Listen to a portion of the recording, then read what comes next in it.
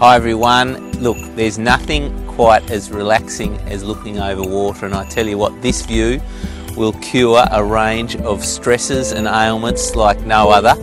Now, it's a huge block, over 2,400 square metres, so I want to point out the boundaries. Bear with me and I'll show you where they are.